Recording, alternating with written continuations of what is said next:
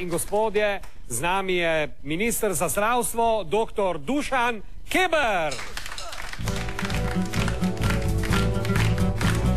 Pri, pri, pridi v studio, doktor Keber, pri, pri, pridi v studio. Doktor, doktor, Keber, Keber. Gospod minister, prav lepo pozdravljen. Dober večer. Dober večer.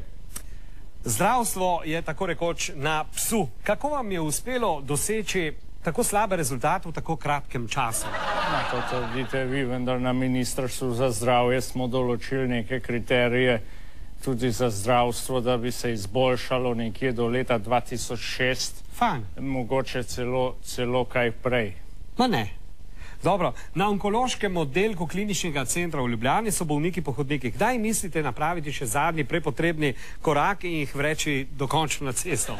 Ne jih grejo, če, a? No, na onkološkem inštitutu seveda primankuje postelj, mm. vendar bi v, v roku do leta 2005 nekje pridobili še več postelj in sicer nekje 4 do 5 postelj, od tega ena francoska. Ma ki kupujete bi- te posle?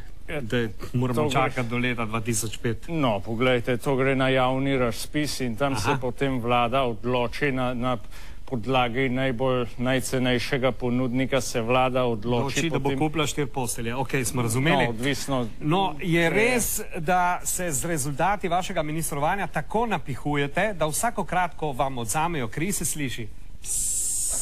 No, to trdite vi, pa vendarle. Prav je bila dobra, ne?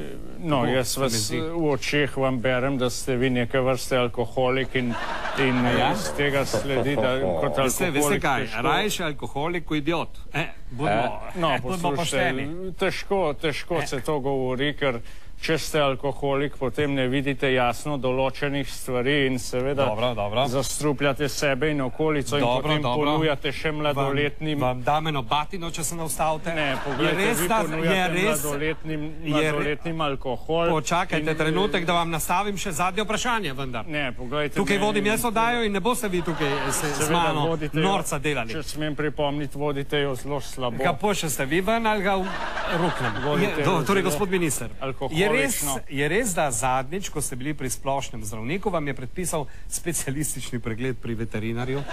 No, to, če bi to držalo, potem bi moral biti, ker splošni zdravnik sem tudi lahko sam sebi. No, tako obnašanje, čisto alkoholično obnašanje in z vami se težko pogovarjam. Gospod minister, če se težko Ja, pogovarjate, ja, ja. pejte vi lepo. Hvala lepa, nasvidenje. Salve. aplav za gospoda Kebra. Ali, ó. É. É isso